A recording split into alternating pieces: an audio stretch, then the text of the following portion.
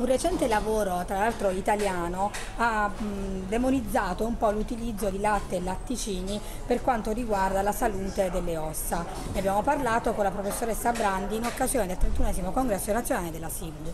Allora professoressa, fanno male davvero latte e latticini? Tutto quello che noi introduciamo con la dieta fa male se è troppo. Quando parliamo di latte e latticini per la salute dell'osso dobbiamo sempre tenere presente i 1000 mg al giorno di calcio. Consideriamo che un etto di parmigiano ha 1000 mg di calcio, ma noi non vorremmo mangiare un etto di parmigiano al giorno, dovremmo mangiarne una quantità inferiore. Come anche un bicchiere di latte contiene un po' più di 100 mg di calcio. Allora noi ne dobbiamo introdurre 1000 e non dobbiamo esagerare con niente.